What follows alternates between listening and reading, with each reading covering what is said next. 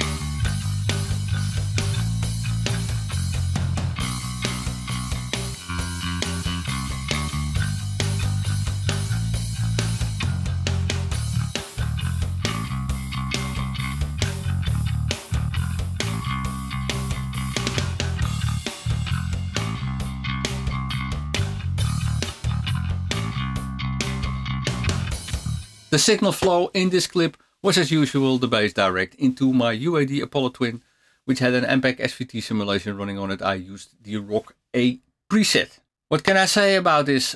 Leave comments if you think one sounded better than the other.